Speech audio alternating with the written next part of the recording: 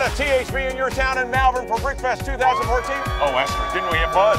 I had an absolute amazing time. Most of all, I love the people. We love you. Friday, it is THV in your town in Heber Springs.